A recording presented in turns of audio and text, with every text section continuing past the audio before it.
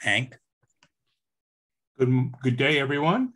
It's the 8th of March. It's our uh, monthly um, meeting of the Progressive Legacy.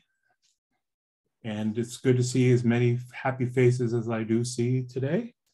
We're going to have three speakers today. One is uh, Marylin Pierre.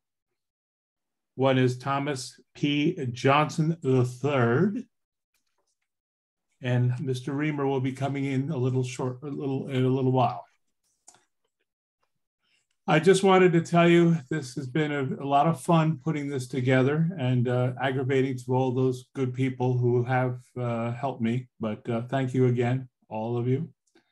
And my wife is going to read the bios of each individual um, speaker, so I won't stumble all over that. And uh, I hope that uh, we will have a good and open discussion. And we were thinking that if you have any knowledge of this workings of this uh, computer, that you could possibly save uh, a question to chat and then raise your hand that you want to have an answer to a question that you have. We will try to entertain that. And as I was telling Alan earlier, well, we're going to mess up, but we'll, we'll get better at this.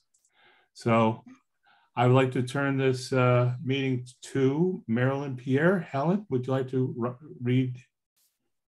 Sure. My mic open? Yes, you're being heard. Okay. Marylin Pierre is running for circuit court judge. She has been practicing law for over 30 years. She practices family law, criminal law, probate law, and juvenile law, among others.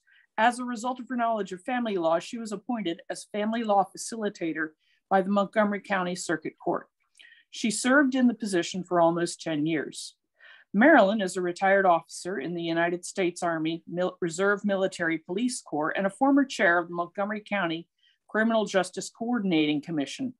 Among her numerous honors and awards, Marylin is a three-time recipient of the Daily Record's Maryland Top 100 Women and she is admitted to Maryland's top 100 Women's Circle of Excellence. Marylin was recently recognized as one of the heroes of Montgomery County by the Patuxent chapter of the Links. Marylin and her husband, Reynold Pierre Louis, have been married for over 28 years. They have two sons and a daughter. Marylin, would you like to address our little group? Well, well, first of all, I would like to say good afternoon, everyone I'm sorry, every time Mr. and Mrs. Craig's granddaughter waves, I just have to wave back. It's just instinct for me. Thank you so much to Progressive Legacy for having me here. I love attending your meetings and I am so honored to be a guest today. I also want to thank Helen for doing such a great job preparing everything and awesome job reading the bio. And Hank, you are in good hands with Helen. I, I know that you also did a very good job and you are going to continue to do a very good job moderating. So thank you very much, everyone. And I also want to say thank you to Progressive Legacy and its members for being such a great support throughout the years. I really appreciate your support and I know that you know, no, no, I know that sometimes it's hard to thank everybody individually, but I know what you do and I see what you do and I am keeping track of it. So thank you so very, very much, everyone. My name is Marylin Pierre and I am a candidate for Montgomery County Circuit Court Judge. Like Helen said, I've been practicing law for over 30 years in Montgomery County. I've actually been licensed to practice law over 31 years because I was licensed in Pennsylvania first. And I'm also licensed in the District of Columbia, the Commonwealth of Pennsylvania, the state of New York, several uh, federal courts, and also the United States Supreme Court. Uh, it, it, it's a lot, but that, that's what happens. I love serving my community, and I grew up thinking that I was going to serve my community as a lawyer it happened when I was 12 years old. It happened on July 2nd, 1978, which was Thurgood Marshall's 70th birthday. On that day, I heard a radio program that talked about Thurgood Marshall and the accomplishments that he had done being a lawyer. And I said, oh my gosh, I am so in awe of this man and so in awe of what he was doing uh, to help his people and the community. Well, I shouldn't say his people because he helped so many people.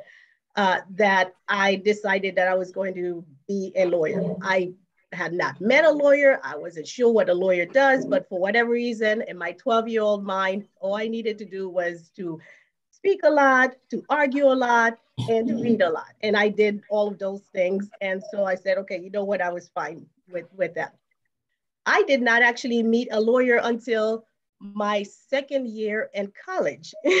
so I don't know what sustained me from 12 years old to you know a sophomore in, in college, but it did. And I really, really am glad that happened because I love the practice of law. I I really enjoy helping people using the law.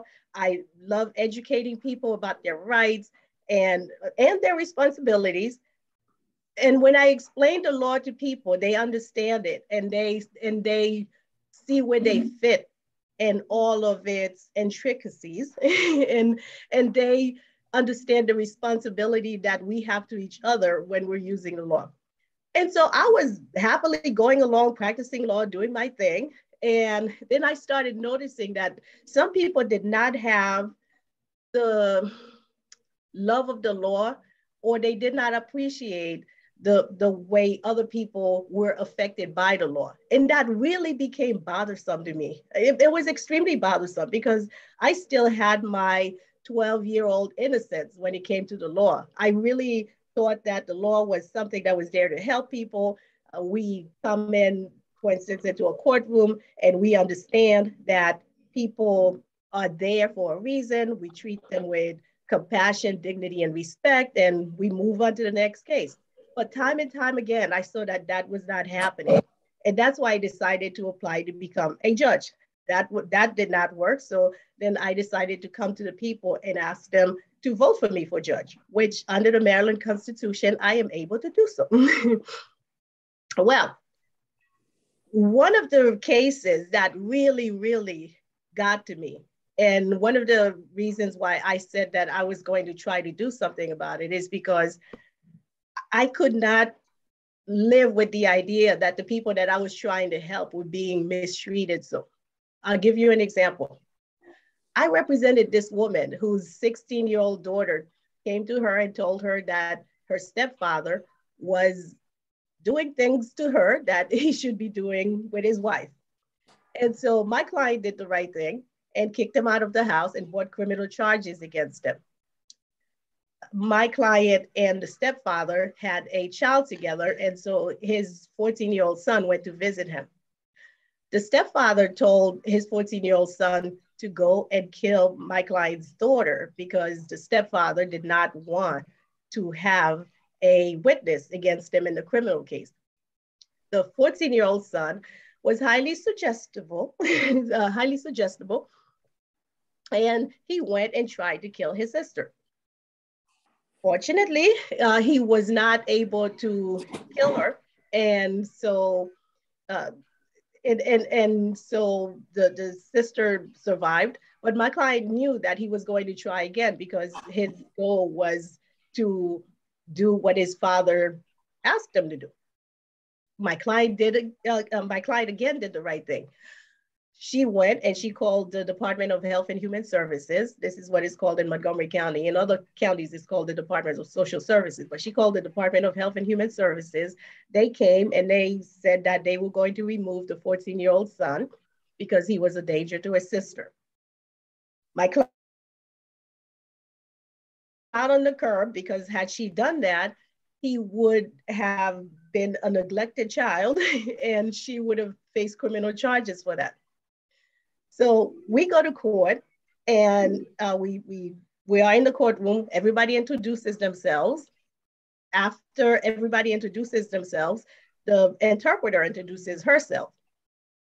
After that, the judge turns to my client and after everything that she's been through, she's distraught. She is concerned that she is going to have to give up one of her child, basically, kick him out of the house through no fault of her own.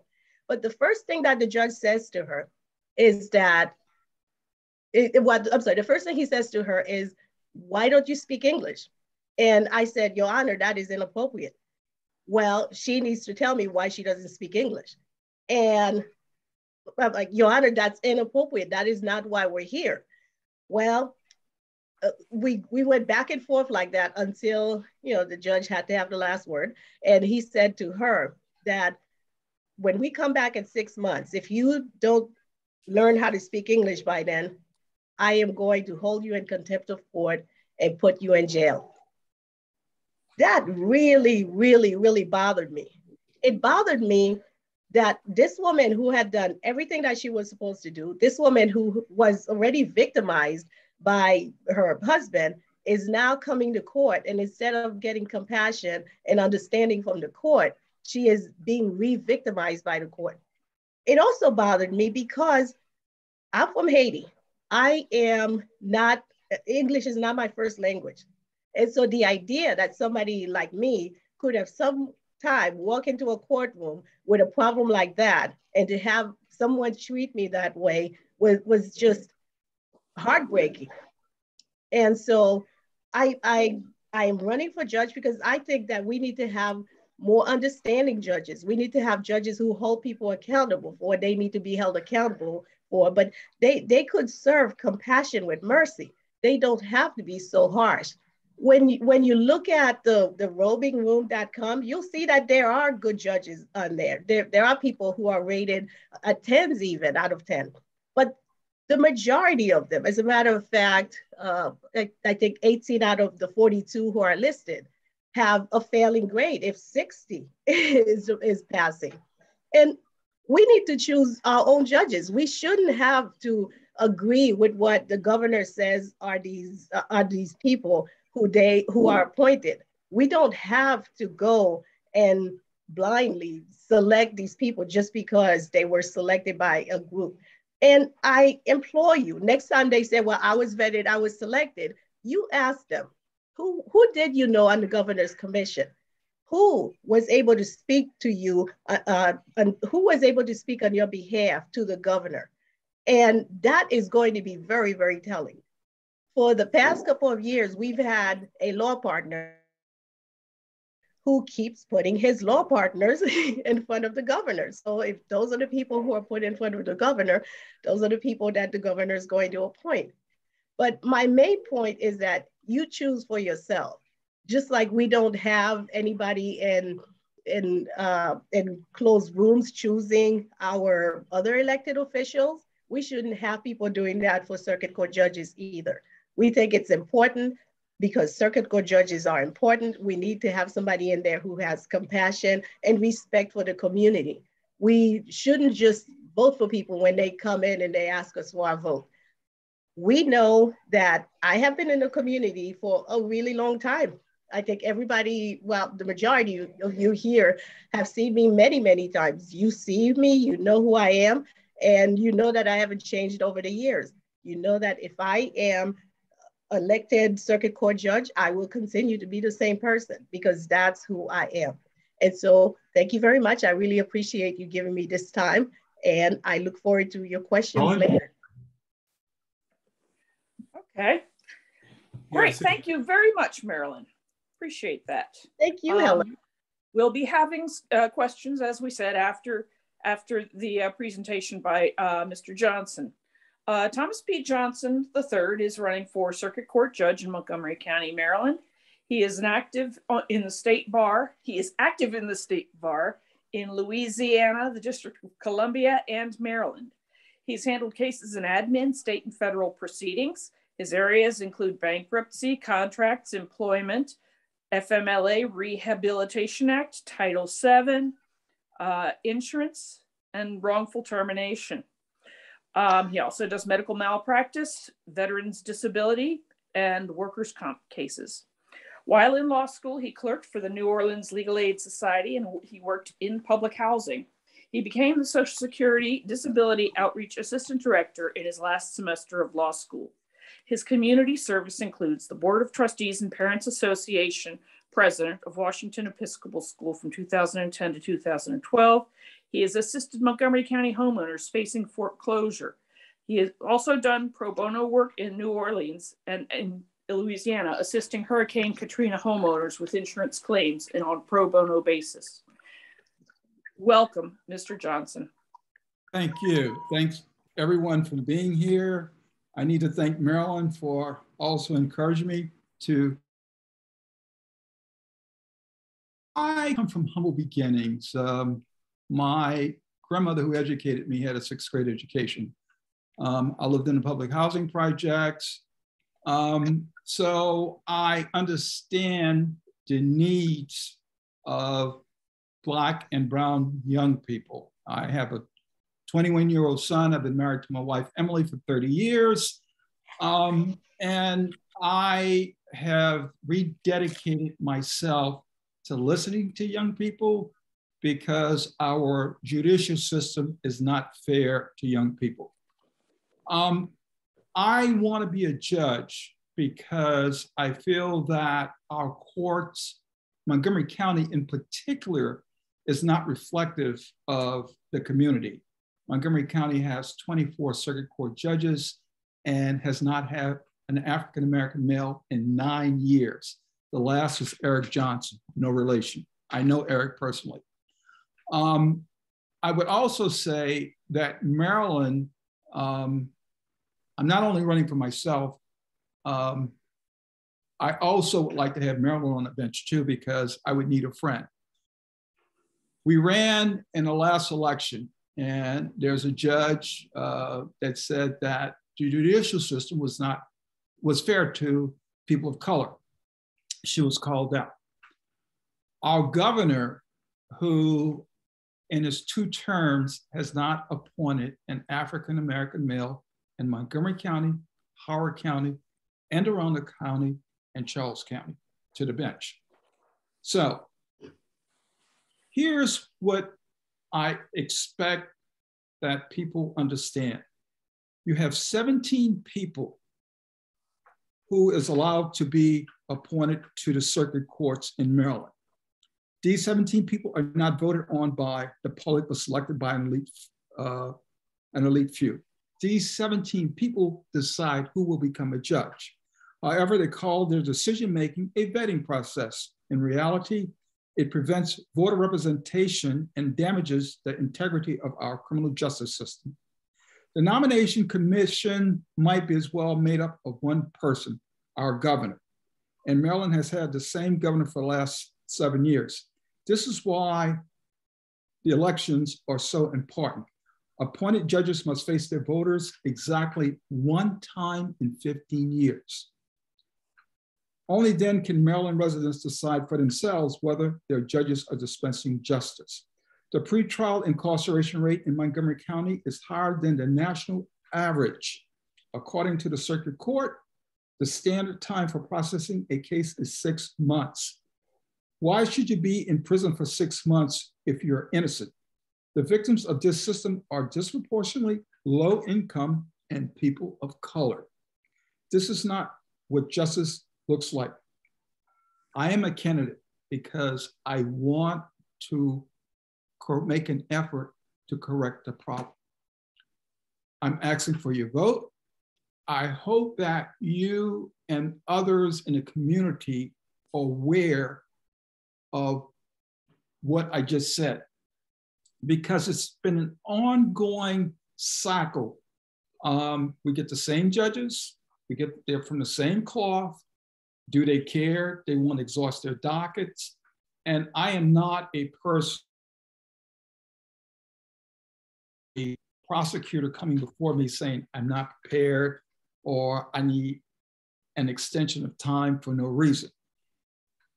I will go to his or her boss and say, send me attorneys that are well prepared, well qualified, and make sure that a defendant, and especially an indigent defendant, gets the proper representation that he or she may need.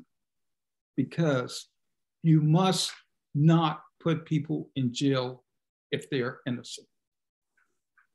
I feel that my legal aid experience qualifies me for the position more than anything I've ever done. Um, I've litigated against, as a solo practitioner, against some of the major corporations and are uh, successfully litigated against them.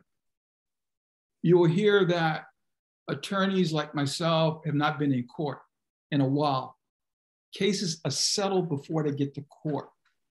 Most companies settle their cases. Most individuals want the case settled because it's cost effective. People don't have the resources that can afford attorneys. And, my, and most of my representation are landscapers, Hispanic landscapers, so people don't want to pay for their work. Getting back to legal aid, working for poor people, people with very little or no means, very little education, has opened my eyes to the fact that they need representation, just like I have a client coming to me paying me billable hours or taking me on retainers. They deserve the same representation. And our judicial system is flawed.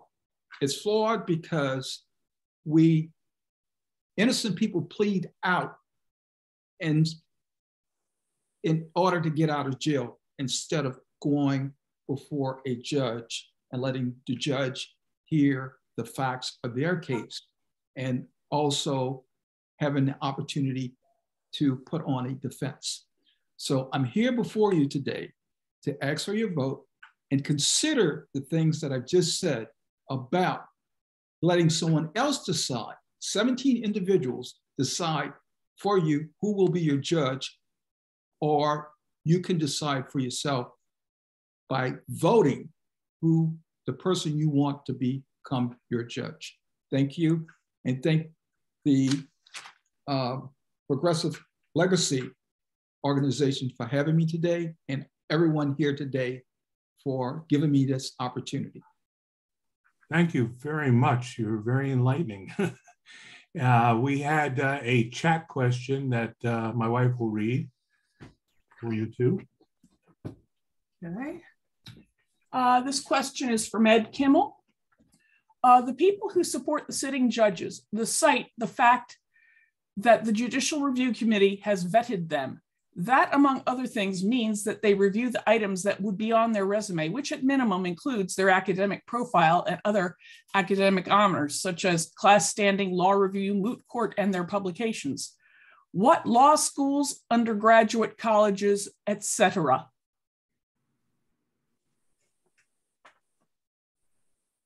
Ed, do you have any anything to add to that question? Unmute yourself. I figured Am I, that. am I muted? No, he is. No, I, I was. I had to unmute myself to respond to your question. Okay, go Yeah, ahead. What, what would you say were your academic qualifications to be on the bench? And do you want me to go first? Yes. Okay. Thank you, Ed. It's a pleasure to see you. I miss you. I haven't seen you in a long time. I've missed the beautiful pictures that you take of us all the time. That's a very good question because it does mean that, you know, there's, it does mean that there are qualifications that need to be met. However, the administrative office of the courts have vetted us. Uh, even if the uh, if the governor's commission hasn't vetted us, the administrative office of the courts has. And before you could run for judge, you have to get a letter from the administrative office of the courts in Annapolis to say that you have met all the qualifications. And when you have that letter, you take that letter to the Board of Elections, and only then will the Board of Elections put you on the ballot to run for judge. And I, I think what needs to happen is you need to ask yourself, you know, who are these 13 people? Do you know these 13 people? Uh, do you know what their characters are? Do you know what kind of conflicts of interest they might have? Because as I stated before, one of the people who's running today uh, on the slate, her law partner was on the governor's 13 member commission. In Montgomery County, that commission is kind of interesting because that commission is made up of 13 lawyers. And to me, that says a lot because I'm a, I'm a board member of the State Board of Occupational Therapy. And the reason why I am a board member there is because I am not an occupational therapist. I am there as a public member, and my job is to protect the public. When I was on the Montgomery County Criminal Justice Coordinating Commission, I was a public member which means that my job was there was uh, to protect the public. And it's important to have public members on these commission. If you go to the court uh, Court of Appeals' website, you'll see the members on the commission for each county. And you'll notice that some commissions have more public members there than they have lawyers. And that really, really says a lot. Out of the four people who are running on the slate, one of them is a is the daughter of a of a uh, of a judge, and she's also from one of the law firms that tout how so many of their lawyers become judges. Uh, and then we have one who, as I said, stated before, her, her law partner is on the commission. Why would somebody who has monetary interest in someone becoming a judge be there to be able to make that decision or even if he didn't make that decision, push that decision along or encourage that decision? It doesn't make any sense. So what they're saying in terms of you know we were chosen by these members. Well you were chosen by these members but we the public don't know what these members found important and as i said before if you look at the robingroom.com you'll see that all the judges on that on the list in montgomery county have been appointed but they are very, very well, many of them are very, very wanting. As a matter of fact, I'm going to put the information for you in the chat and you could check for yourself as you listen to Mr. Johnson answer that question. Thank that, you. I'm sorry. That, Go ahead, Mr. Johnson. Yeah, that question is really interesting. I always find that question interesting because I always start out whether you're looking for a qualified person to be a judge or um, someone what supposedly a, a impeccable academic credentials or went to one of the top tier law schools that you know you assume they're going to be a good judge i i take issue with it because our last supreme court appointment had never tried a, a, a case um, you know, she, you know, it's just a, a, a fact. Um, I've known great judges who graduated bottom of their class. You know, they turned out to be phenomenal judges, uh, writing opinions of circuit courts. So I think the question is, you and and and I want to separate myself from the, the, the other candidates in a sense to say, my name right now is on the ballot for President Biden's list for a US District Court nomination. Now, that process, um, I went, I, I don't think I'm going to get it, but my name is there, okay? But that process in and of itself is daunting, okay? First of all, they do a thorough background check. They vet you like you've never been vetted before. They know everything on you, okay? And then you have to be qualified. So the question, uh, to answer that person's question, there is no one that's sitting as a current judge that I'm running against that is qualified, has qualified themselves to be appointed to a US District Court federal judge. Thank you. I, I, we have a lot of questions. and uh, we would like to uh, be specific. In one case, someone has asked Marylin uh, for one, which is uh, what would be your first action upon assuming a judgeship? Marylin. Well, thank you very much for that question. My first action on assuming a judgeship is to actually speak with my fellow colleagues on the bench. I, I don't understand a lot of things. I don't understand why Maryland incarcerates a higher percentage of its young Black males than any other state. It doesn't make any sense to me. We are not the most crime ridden state. We are not, we don't have the most uh, criminally minded young Black males, yet we are. and according to the Justice, uh, Ju the Justice Policy Institute, the reason that we are is because the judges give them excessive sentences. And to me, that is really, really something that that is hurting us, the community, because excessive sentences don't reduce public safety. As a matter of fact, it makes things even worse because people don't believe in the system. And when they don't believe in the system, chaos entails. They said that what, what uh, helps in terms of public safety is to be firm, consistent, and, and um, uh, well, it's to be firm and consistent. That's what we need to do. We, we don't, uh, I'm sorry, it's to be fair, firm, and consistent. That's what we need to do. We need to be fair, firm, and consistent. I think that a judge's role is to make sure that people who, who need to be held accountable are held accountable. I think that a judge's role is sometimes to, you know, figuratively hold the hand of someone who is going through one of the worst times of their lives. I've said it before, I love being a lawyer, but I look around the, the courthouse on a daily basis and I and I say that had I not worked here, I would not want to be a party here in any case that I could think of. And it's really important that we, oh, I, I see Kathy saying that the link doesn't work. I'm going to check it again and, and send it to you when I'm, I'm done. It, it, it's really important that we see judges as the public servant that they are. They're not supposed to be sitting on a bench high and mighty looking down on the rest of us. They're supposed to look at us and see our humanity and they're supposed to make their decisions based on the evidence, based on seeing people as people, based on eh, knowing that no matter what you look like, no matter what religion you are, your sexual orientation or your gender or whatever isms might be there, that those things, unless they relate to the case, should not come into the decision-making process. So th what the first thing that I would do is talk to my colleagues to make sure that they are they understand that they are looking at real people when they're making these decisions. Thank you, Marylin.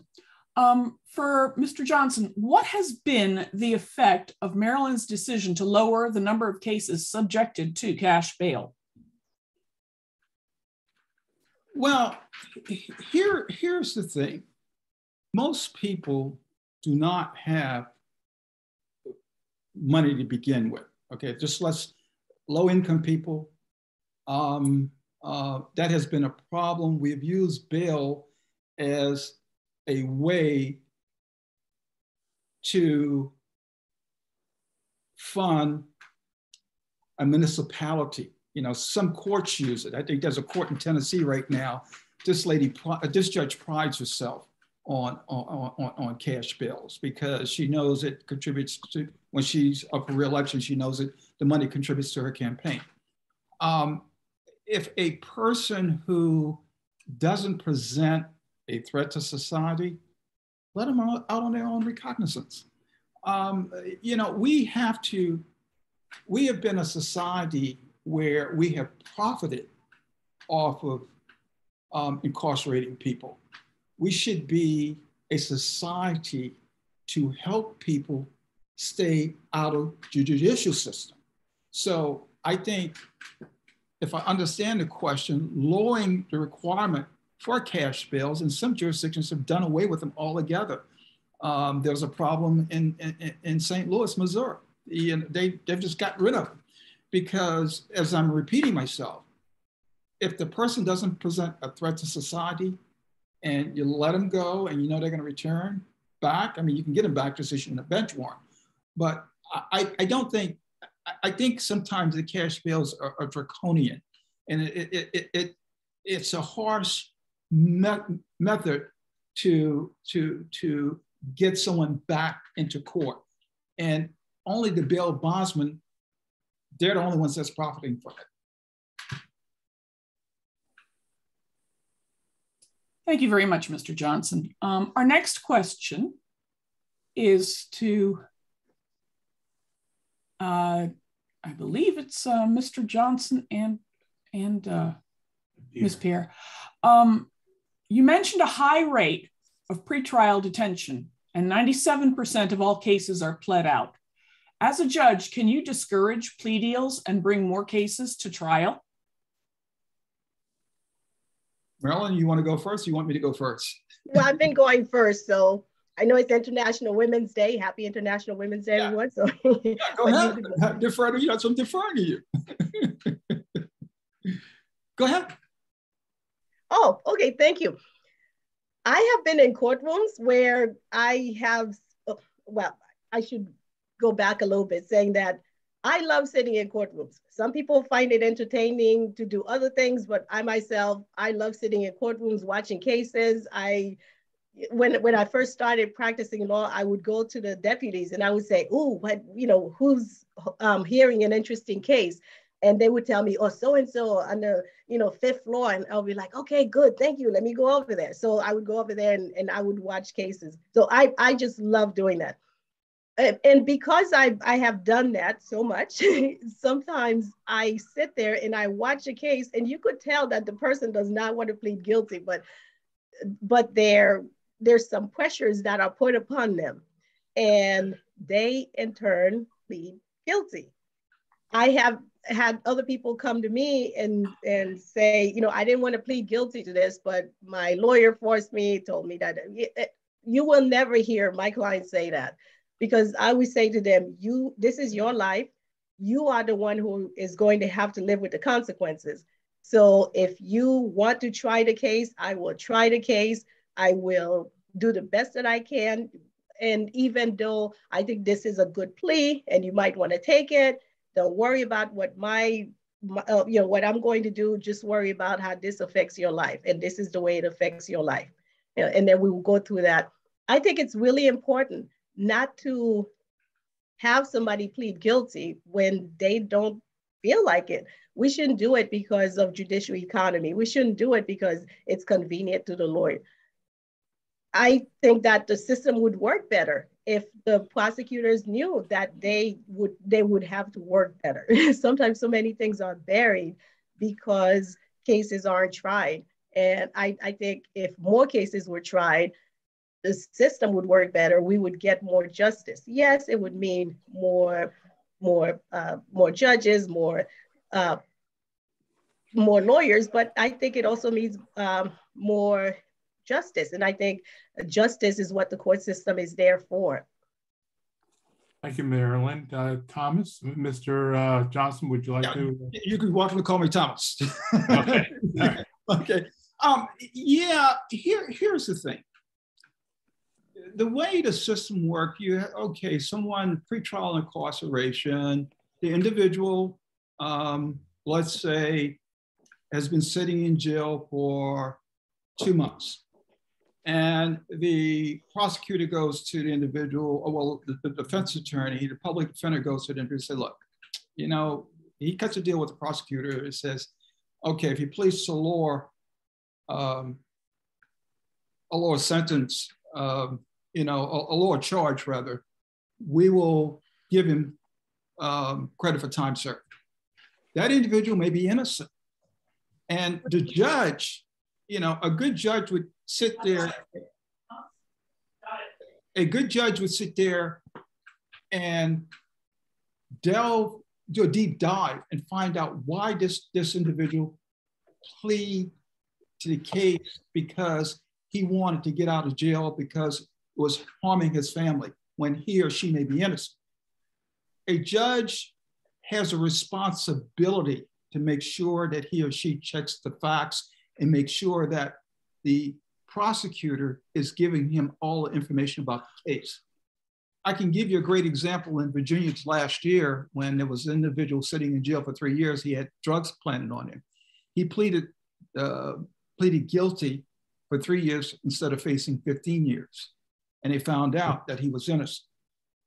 So that comes to mind. And as a judge, that's in my system because I want someone, because the Constitution says that this individual has to come to court within X amount of days. And he or she must be tried or you have to release them. So my thing is this when a prosecutor comes before me, he or she better be prepared. I will read the case. I will ask the hard questions. I will make sure that that individual who's been charged with a crime, he or she has an opportunity to exercise their constitutional rights before me. I will not take a case and say, okay, you're taking a plea deal. You understand that, you know, they go through the, the, the routine that if you plead guilty, you give up all your rights. No, I want to make sure if that individual is pleading guilty to something, that he or she understands that they, if they have, if they're innocent, they're losing every opportunity to present their innocence to me. Thank you very much. I very much appreciate your long and comprehensive answers to our questions. We have a few more questions, but we did devote a certain amount of time to uh, Mr. Hans Riemer, who's running for uh, the um, Montgomery County, whatever. Executive, thank you. Executive, yes. Yes, So Hans, I, uh, I just wanted to say thank you very much uh, for giving us those detailed answers. And my wife will read a little blurb for you, Hans. So give her a little chance. Thank Hans you. Riemer is running for the county executive in Montgomery County. He has represented the entire county, serving as an at-large member since 2010. He chairs the council's Planning, Housing, and Economic Development Committee and has been a leader on smart growth and housing, among many issues. Before the council, Hans served as Barack Obama's National Youth Vote Director, and he organized national campaigns that defeated the privatization of Social Security. He lives in Takoma Park with his wife Angela and their two boys, both Montgomery County public school students. Go ahead, Hans. Well, thank you for the invitation to join you this evening. I am uh, I'm excited to have the chance to have some conversation. Um, so, would it be helpful if I just shared a quick, uh, you know, introductory comment, and then we go to Absolutely. Please be free. Okay, great. Uh, well, I am excited to run for county executive. I, I think Montgomery County is an amazing place, and I think we need leadership in the county that is embracing our future and is forward-looking and is willing to make the kind of decisions that we need so that our community continue to thrive and prosper and succeed and create the resources that we need to uh, invest in our community and support our agenda to create opportunity for all residents in this county. And uh, I, I am excited about who we are and, and where we're going, but I'm also concerned about our trends. I, I think that you know we have a challenge in this county with economic development and job creation. We are, you know, we actually have fewer private sector jobs today than we had 10 years ago. You know, that that is that's really a big problem for us. You know, uh, I think it's really expensive to live in this county. We we have a big challenge with housing for the workforce and housing for empty nesters and young people. And you know, I, I want my kids, my two boys, to be able to live here. And I'm concerned that you know there may not be jobs for them. There may not be housing. And I think we need county executive leadership that is forward thinking on jobs and housing. And, and we really don't have that we really don't have that today. I I am passionate about climate change. Uh, it's why I fought so hard to legalize solar in this county uh, because we need solar everywhere if we're going to shut down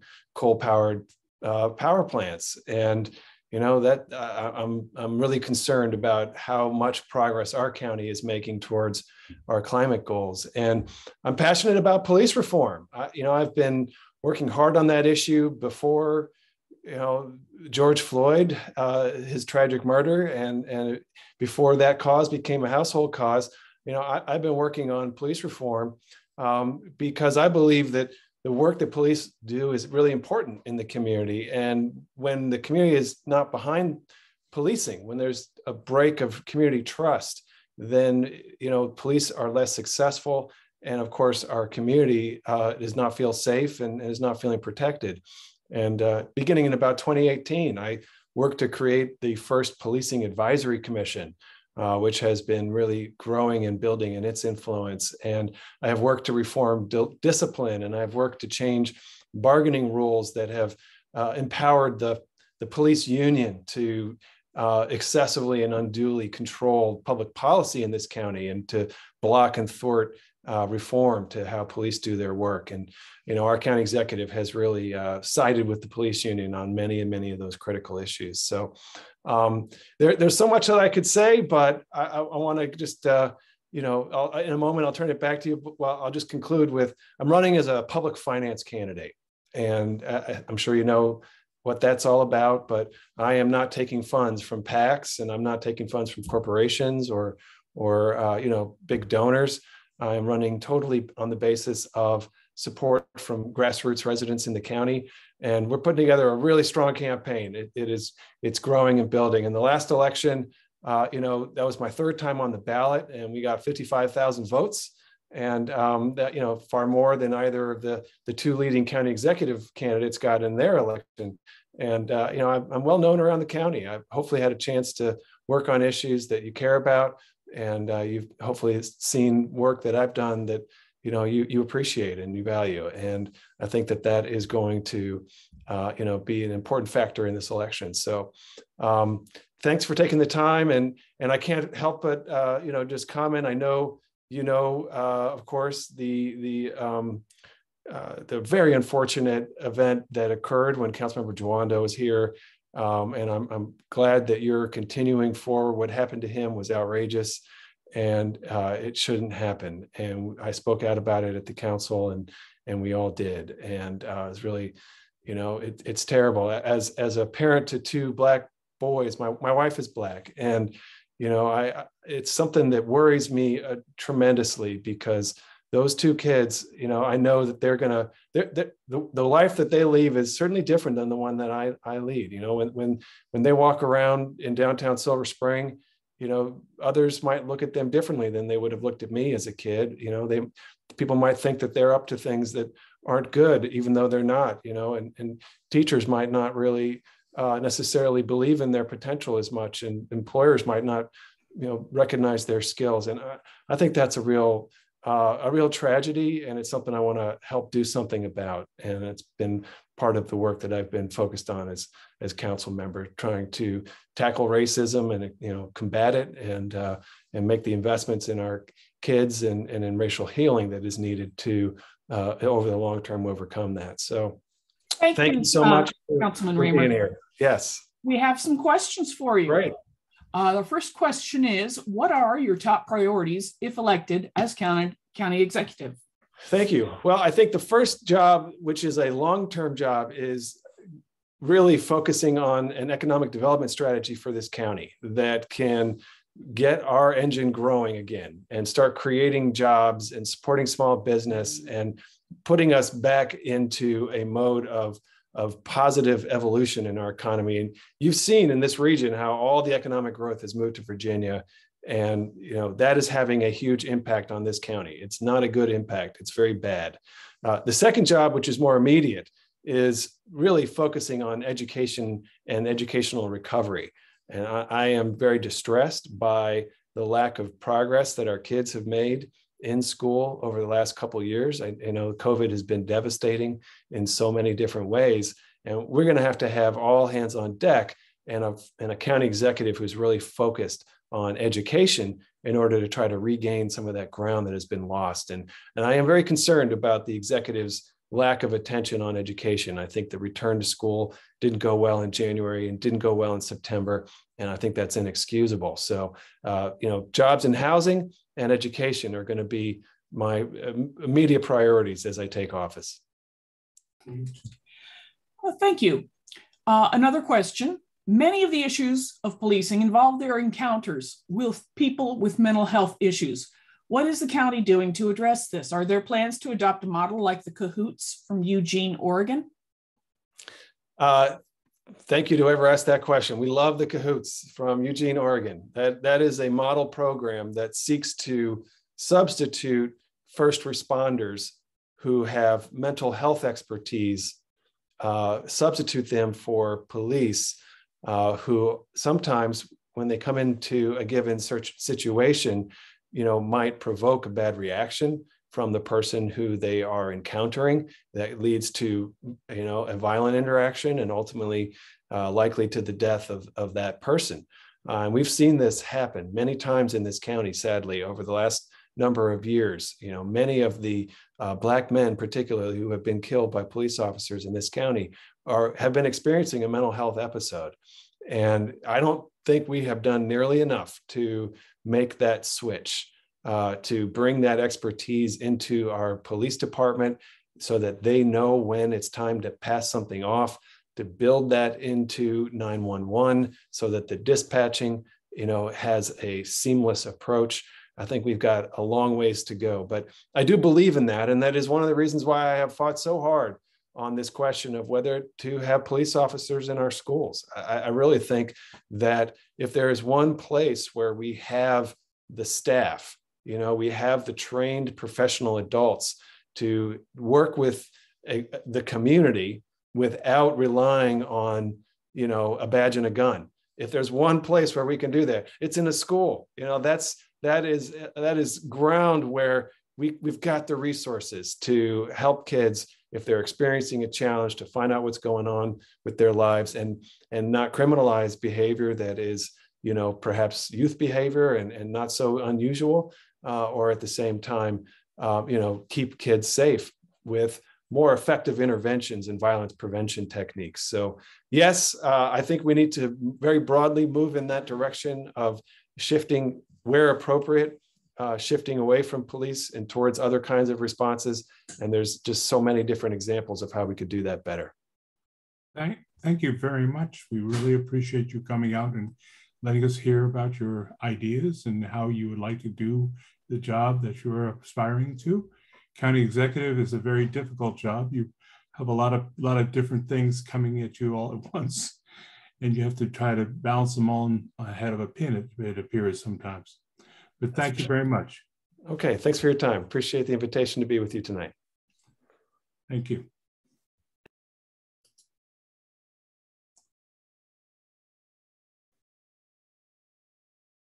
Go ahead, Alan. Your your meeting. I'm just uh, the the technical guy. Um, it was good to hear from uh, Marylin Pierre, Thomas Johnson, and uh, Councilmember Riemer. I thought we'd get to ask Councilmember Riemer uh, a few more questions. I had some questions that I wanted to ask about housing, um, affordable housing, uh, because that's an issue that's really important to most of us and doesn't get discussed uh, discussed mm-hmm. often. Um, but uh, I really appreciate everybody coming to uh, this conversation, you know, this afternoon and uh, raising so many issues. The he he could be back. um, Councilman, Councilmember Riemer, you're still there? Oh, I'm so sorry. I, I, I inferred that my time was up, and so I dropped well, it, off. I'm glad to be back. It yeah, was. In effect, it was, but the point is, we would like to ask you a few more questions. It was. it was, confu- it was confusing, Hans. So uh, we uh, we apologize for that, and thanks for the kind words you said about our last meeting, which was really uh, very concerning to all of us. Um, sometimes around the issues of uh, police accountability and transparency, you get that kind of reaction. I posted a question in chat. Um, it won't come, won't be surprising to you. I know that uh, housing has been one of your top priorities. Um, the Council of Governments and the Planning Board say that we're going to need tens of thousands of new affordable housing units over the next 30 years. Um, personally, I don't think that the attainable housing study and those uh, policies will get us there. I wonder what's your, what's your thought about how we can create the tens of thousands of new housing units, affordable housing units that we need so that uh, teachers and police officers, uh, firemen, and working class people can uh, live in the county. Yeah, thank you so much. Alan, it's great to see you. Uh, you know, for those who don't know, I, I had a chance to serve with Alan in 2005 on the neighborhoods committee in the Silver Spring advisory board. And uh, that was 17 years ago, Alan. That was a long time, but long time. you still look the same. You still look the same. Um, you know, housing is a critical issue. And as you observed, uh, it is one that is making this county unaffordable. And particularly, well, for a lot of different people at different levels of income. But, you know, I think it's becoming uh, pronounced, especially at the workforce level. And, you know, I always like to ask, uh, you know people I I encounter like, hey, where do you live? And I, I often find with folks who are like you know it, they work at the dentist's office or they are in personal services. You know, increasingly they live in Frederick. You know, they live in uh, Howard. You know, they're they even live in Virginia. You know, and it's public and private sector. You pointed out, you know, police or fire or teachers, and I think it's you know that extends into the private sector as well. And it's why the theme of my campaign, in a lot of ways, is just making the changes that we have to make so that this county can be affordable to our workforce and our young workers and our empty nesters. There's a lot of empty nesters who I think would be happy to move out of the you know family that they raised the house that they raised their family in if there was a great place for them to land and we don't have enough of that. So first of all there's a supply and demand problem. And you know that's the kind of underlying tectonic issue here which is we're a housing shortage community uh, where you know like west coast style where there's just far more demand for housing than we are creating uh, supply to meet. And in fact our our annual numbers are about half of what they used to be. Uh, so we are meeting about half of what we think is the annual need for new housing in the county. And it should be no surprise that when you don't, you know, when you only produce half of the supply that you need year after year after year after year, it just adds up and it creates all kinds of problems in the in the housing market and that you know shows up with significant affordability issues how to address that you know it's multiple uh, multiple dimensions. First of all, you know, we need the housing market to get going again. So that was why I pushed hard to get rid of the housing moratorium as an example, which the county executive opposed, you know, getting rid of a moratorium on new housing where housing wants to be, you know, in the places where investment wants to go. You know, I thought that was uh, you know, really important for us to do. That's why I have uh, worked on master plans like downtown Bethesda or Lyttonsville or Silver Spring or you know Long Branch, uh, you know up and down Rockville Pike, Montgomery Village, you know to allow for new housing to come in where it isn't presently allowed, and you know we have a market opportunity. Uh, county executive has opposed opposed me on all those measures as well. Even voted against the Bethesda master plan. Um, you know, it's why I've been working hard to create financing for uh, set aside affordable housing for our lowest income residents. It's why I raised the MPDU requirement for housing in more affluent areas so that lower income county residents would have a chance to live in some of the more expensive neighborhoods of the county. You know, there, there are so many things that the attainable housing piece is just one small piece of a very big puzzle. Um, you know, we did pass the accessory dwelling unit proposal that I proposed council passed unanimously. County executive fought us pretty, uh, pretty assertively for a long time on that. Um, that's a big, that, that's an important piece of the attainable housing vision. Um, but, you know, I think the broader story here is it takes many, many, many different kinds of policies to put the housing, you know, to, to address the housing crisis because it's a broad and deep crisis. And, um, you know, I, I am deeply concerned that uh, by the county executive's anti-housing policies. And I think this county is, we're never going to tackle those issues if we don't get different leadership in place. Thank you, Alan. other, I knew that was your wheelhouse. Other, uh, other questions? I mean, I have dozens of them. It would be unfair for me to ask all, all of them. But uh, while other people are thinking about their questions, let me ask Council Member Riemer this question. Um, one of the things that some of my colleagues are interested in is refunding an office that was in county government called the Office of the People's Counsel. Um, we saw that as a way to sort of balance the playing field between the, the people with the financial interest in the economy with, uh, with residents. I wonder if uh, you have a perspective on the Office of the People's Counsel, its utility, and whether or not you would support a recommendation from the from the county executive and I hope the council president to uh, refund that in the next year's budget. Well, with the, if the executive sends it, I will definitely take a look. I mean, we, we've looked at that a lot over the years. Um, you know, generally what we have seen is there's a lot of concerns about how effective it would be and it kind of create a, a false sense of influence uh, that wouldn't pan out and would just lead to a lot of frustration. Um, and so many people have said, you know, if you create it, you're you're kind of just um, you're setting an un- unrealistic expectation that the residents will ultimately find, you know, very disappointing.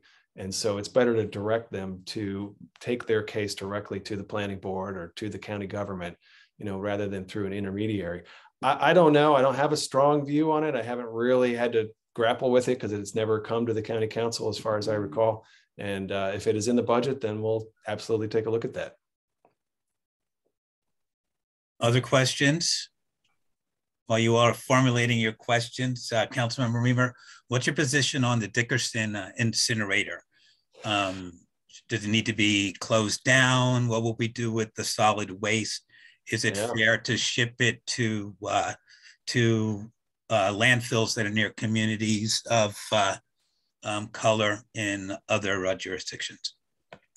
Thank you for that question. That's a great question.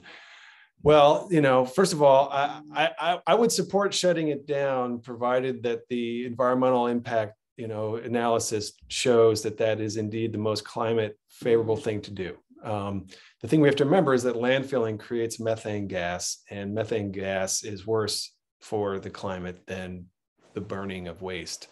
Um, and so it's it's a little bit unclear what is the most beneficial from a climate perspective. Um, but I am I am looking at that. We're looking at that, and I am totally open to it. And you know, I, I think shutting it down over the long term, absolutely. I think we do need to shut it down over the long term. Um, you know, by putting in place effective uh, composting. You know, there's no reason for us to burn organic matter like that can all be composted and the you know without producing methane um, you know there's a lot of evolution in the recycling sector and there's possible ways that we could actually gasify our waste and no longer burn it um, and use the the gasification uh, to substitute for natural gas uh, that is you know burned in buildings um, so there's a lot of things that we could do. I do have concerns about exporting our waste to other communities. Um, and, you know, uh, that to me, that is sort of not consistent with the core principle of, of, you know, sustainability and leaving things better than you found them. And, you know, uh, clean up your own mess or, you know, if you brought it, take it out. Um, so I, I, I have some real concerns about that if the county wanted to landfill in the county, you know, I think that would be kind of less troublesome. Um, but uh, you know, this is a complicated one. I, I, will say I think the executive really hasn't put the effort into this that he should, and you know, there has been a longstanding issue with getting a composting facility up and running, and he just has not delivered on that. And um, that'll be my my job one. You know, if I'm county executive I want to get a composting f- facility funded in the budget, you know, uh, and send that right away. Um, I'm a huge composter. I've always been. My parents started composting when I was a kid, and uh, you know, you can really reduce the amount of waste that you send to, uh, you know, our incinerator if you just take out all the vegetables and the fruit and the meat and the cheese and the, you know, cotton and other organic materials. And uh, once we do that, you know, we could reduce our waste stream significantly. So I'd like to get that done as well. There's another question in the chat uh, from Sandy Robinson. What are your views? Uh, I guess what are your priorities for uh, climate change issues? Um, she said you've, you've addressed some of the issues talking about the incinerator and composting. Um, do you have some other priorities? And you talked about solar too. You want to talk I'll say that. a little bit more about you know clean energy. So um, if you looked at the climate action report uh, that we produced, what you see is that almost all of the emissions reductions that that plan identifies come from what we call fuel switching. Uh, fuel switching is get the coal and the natural gas power out of the grid, replace it with solar and wind, get the gasoline out of the vehicles, replace it with electric powered by solar and wind. Like more than 80% of the climate reduction of the of the emissions reductions actually comes from those that that you know that process of switching your fuels.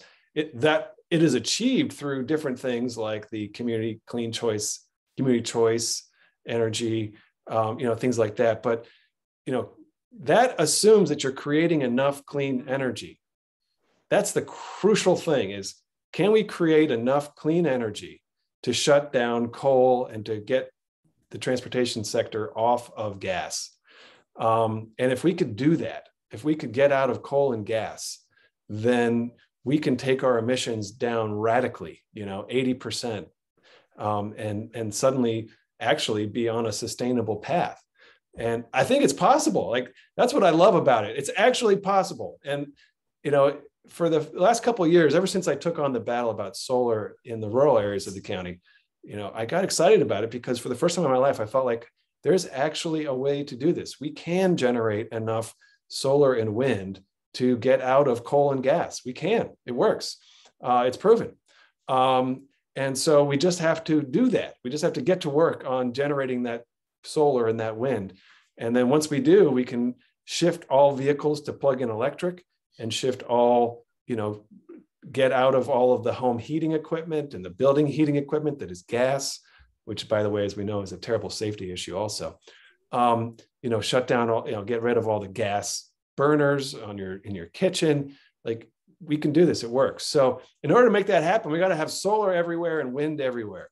And Montgomery County isn't really a place that has a lot of wind potential, but we do have a lot of solar potential. So uh, I, I want to see us building a solar strategy where we're helping homeowners get solar on their rooftops. We're helping commercial building owners get solar on their rooftops and over their parking lots. We're putting it on public property everywhere we possibly can. And we're allowing property owners to put it anywhere, you know, or yeah, just about anywhere. I won't say totally anywhere because that's a big expansive statement, but just about anywhere. Um, and so, in order to do that, what I had proposed was that if you are a farmer, as long as you are willing to continue to farm the land, you can put solar on the same land that you're farming. So, in other words, you can't stop farming that land. You have to continue to grow crops underneath the panels, or raise sheep, or raise chickens, uh, or you know support pollinator plants so that the bees are pollinating your crop from that land. As long as you're willing to do that, like we would allow you to create uh, solar, uh, to install solar panels, and um, sadly ran into a you know massive wall of resistance. The county executive really spearheaded the resistance, and we got virtually nothing out of that, unfortunately. But uh, we could actually power every building in this county locally from solar if we wanted to. That's how much land we have. And it wouldn't even be a large fraction of, of all of our farmland. It wouldn't even really be a big fraction of all of our farmland. What I proposed was just 2% of our farmland should be allowed for that dual use com- combining solar and, and, uh, and agriculture. And that would have powered 50,000 homes. You know, we've only got 400,000 homes in the county you know so like we could do this and i want to do it we're, we're going to figure it out if i'm elected we're to we're to figure out how to power every building in this county from solar and wind. Let, us ask uh, council member Riemer one final question on public safety and police there's a question in the chat what's your position on uh, police in schools uh, school resource officers and i would add to that question it looks like the Fraternal Order of Police and the county executive reached an agreement to raise uh, uh, police uh, officers' starting salaries um, to, I guess, enhance recruitment. Um, do you have a position um, on uh, the increase uh, increased salaries for law enforcement, and what's your position on school resource officers? Sure. Well, first of all, we do have a very serious issue attracting people into uh, police work. Uh, you know, the number of new recruits that we have now are down. Um, I, I, don't know that, it, you know, historically, the county, the, the police union has said, we're not as concerned with the first year's salary. We want to put all of our eggs in the 10th year's salary and the 20th year's salary because that's what your pension gets based on. And so, you know, they look at a person entering, becoming a police officer, and they say, let's not worry about the first three years. Let's look at their 20 years of employment and then their 40 years of retirement. Let's maximize that. Um, now they're saying, well, what about those first two years too? so, uh, you know, uh, okay. I think that having competitive pay is important because we need to be able to attract police officers. I also think that if you want to get people interested in being police officers, we've got to save the profession. I mean, what is going on right now is all of the un, you know, the terrible the terrible things that happen in policing are now public for everyone to see. And as a result, there's been a massive backlash. And so people don't want to be police officers. And I know I'm getting a lot of people on Twitter who say to me, your police reform stuff is, you know, driving people away from the profession. No, what's driving people away from the profession is they see, you know, horrible incidents and then the community is outraged by, you know, officers who are not acting ethically and, and, and you know, and, and responsibly and they say why would i want to be a police officer uh, you know in, in that environment?